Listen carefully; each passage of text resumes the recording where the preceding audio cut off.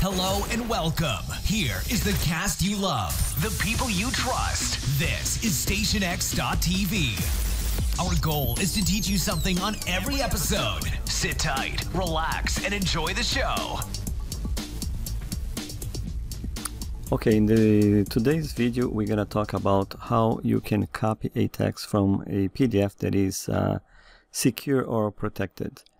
I have this PDF file over here. Let's go and open so I can show you. So this is the PDF file that I want to be able to copy some text file from. And as you can see, if I select in here, right click, I don't have the option to copy because this uh, file is uh, protected. So how are we're going to be able to do this? Couple ways we can do this, but I'm going to explain the easiest way to get this done. First, let's uh, open this with Google Chrome. So I'm just going to drag and drop that to Google Chrome. And same thing here. If I select a file, uh, select a text, right click. As you can see, now I have the copy, but that copy is grayed out. So that's not going to work. So what I need to do here is print this file. So if you click on print, and if you have a printer, right, that probably going to be your default there, but you don't want to print. You want to select as save to PDF. Select that option in there and click save.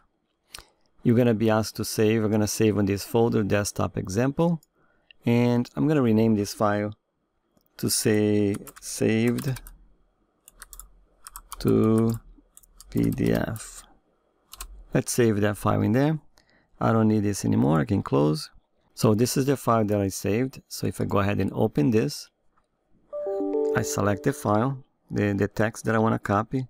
If I right click, see now I have the copy in there. I select copy. And let's open Notepad. I'll drag this over here. And if I paste the text, now you can copy the text from the PDF. That's it for today. I hope you enjoyed, and please make sure to subscribe and give a thumbs up or down. Like a wise man once said, speak good or speak evil. No matter, as long as you are speaking of me. Until next time, thank you for tuning in to StationX.TV.